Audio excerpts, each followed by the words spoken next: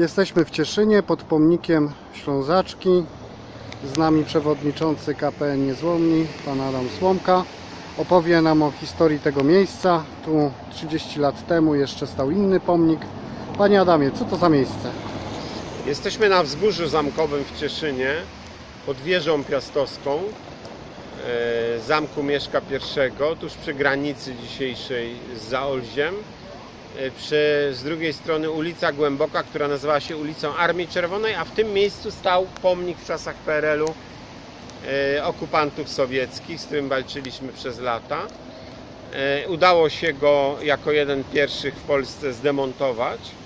Natomiast bardzo długo nie chcieli się Czesi zgodzić na odbudowę w tym miejscu przedwojennego wysadzonego przez Niemców 3 września pomnika ku czci legionistów, ponieważ z Cieszyna wymarszy, wymaszerowała duża grupa ochotników do Legionu Piłsudskiego z Parku Strzeleckiego. Dzisiaj na Zaolziu jest ten, jest ten park, ale tu szli przez miasto i jest pomnik przedwojenny, gdzie y, Ślązaczka trzyma miecz skierowany w stronę Zaolzia i ambasada czeska, regularnie rząd czeski składał noty protestacyjne, nie zgadzając się na odbudowę tego pomnika wpierw, a po latach się zgodzili, ale y, pod warunkiem, żeby ten miecz nie był skierowany w stronę Zaolzia i Pragi. Y, Więc trwały tutaj dyskusje, ale w końcu jest w oryginalnym przedwojennym kształcie i miejscu. Są również tablice ku czci e, miejsc bitew e, legionów i legionistów, e, którzy wyszli z Cieszyna dookoła, jak również z bitew z armią czeską w 1919-20 roku e, stoczonych, tu choćby i pod Skoczowem czy e, w Stonawie.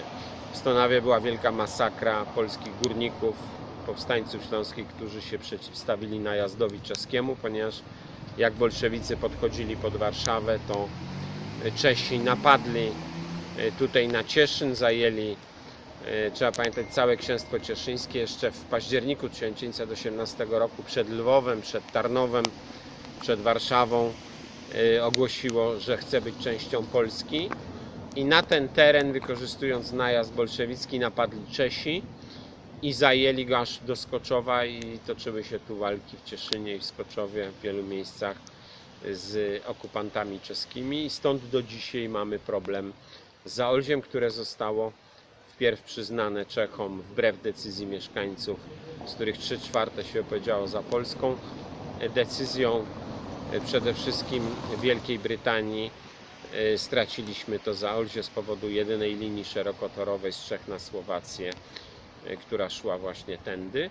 I stąd jedyny dworzec kolejowy mamy po stronie mm, w tej chwili czeskiej. Jak również y, straciliśmy Zaolzie po II wojnie światowej decyzją Stalina, który mimo, że stacjonowało tutaj na Zaolziu wojsko polskie i w 1938 roku zajęliśmy Zaolzie, y, jak również zajęliśmy je po 1945 roku. Cieszyn był pierwszym miastem zajętym przez Niemców i ostatnim miastem wyzwolonym 9 maja 1945 roku. Później zajęliśmy Zaolzie i bardzo długo to Zaolzie było e, w Polsce. Dopiero Stalin na interwencję rządu czeskiego kazał wycofać Ludowe Wojsko Polskie i z powrotem Czesi okupują Zaolzie.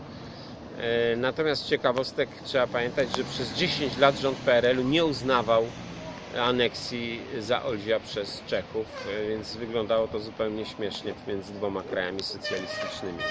Później granica była zamknięta, jedynie ci, co mieli przepustki, specjalne pieczątki w dowodach mogli przejść.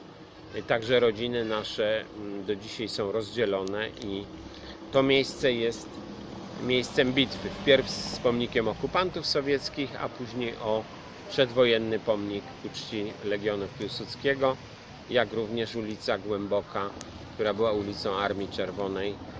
Także te symbole najważniejsze sowieckiej okupacji udało się tutaj zlikwidować. Dziękuję bardzo. Możesz zrobić tu na głęboko.